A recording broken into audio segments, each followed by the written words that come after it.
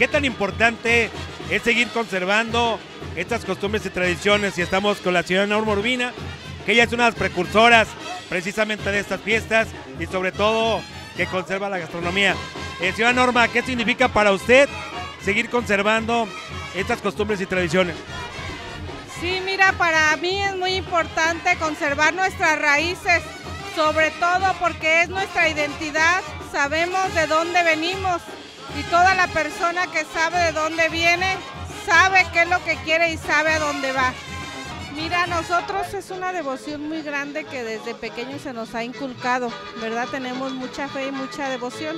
Sabemos que como nosotros que pertenecemos a una iglesia católica, Él es nuestro intercesor, ¿verdad? Para, según nuestra creencia, para llegar a Dios. Entonces, desde chiquitos se nos ha inculcado esa fe y esa devoción hacia Él, ese respeto, y por eso es que conservamos esta fiesta en honor a, San Pedro. Sí, mira, también esa parte es muy importante. Este, que se nos ha inculcado a nosotros compartir lo que Dios nos da durante todo el año y pues quien viene a saludar a San Pedro es bienvenido y se les ofrece pues lo que uno puede, ¿verdad? En esta ocasión pues tuvimos para, para ofrecerles churipo y corundas, que es un platillo ceremonial de fiesta.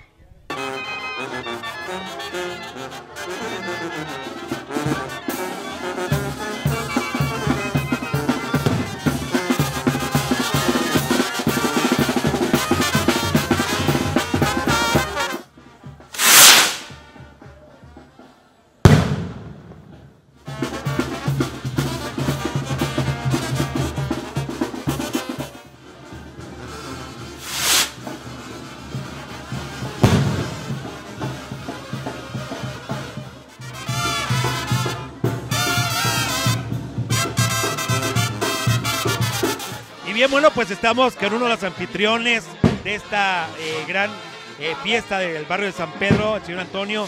Y con él eh, queremos preguntarle qué significa para usted honrar y festejar a San Pedro.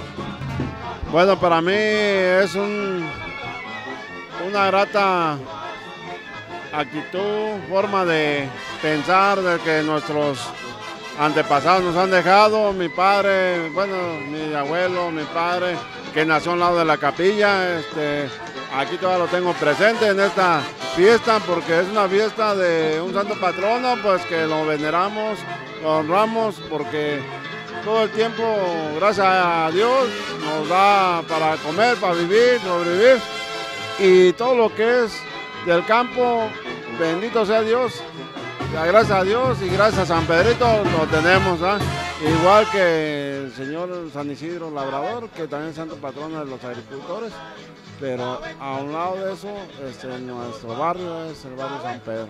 Bueno, mira, este, pues si ves es pura familia y gracias a Dios aquí pues con un llamado a que vamos a convivir, estamos conviviendo y tratamos de que siga la fiesta porque ya viene de, trascendencia.